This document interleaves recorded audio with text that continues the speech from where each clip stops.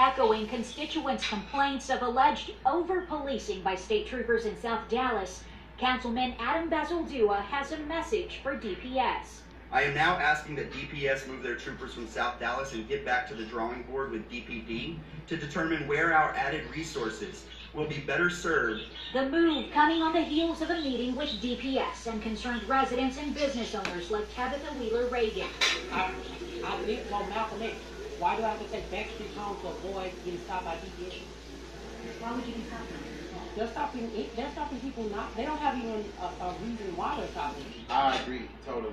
Shanda Higgins supports the call for a DPS exodus from his neighborhood. It feels excessive, it feels heavy-handed. It feels like South Dallas is being punished for the increase of crime. District Attorney John Creuzot isn't calling for DPS to go away, but says traffic stops won't solve the problem.